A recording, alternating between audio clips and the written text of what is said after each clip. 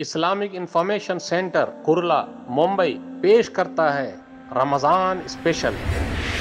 पैगाम रमज़ान, सिर्फ़ Islamic information centre YouTube channel पे।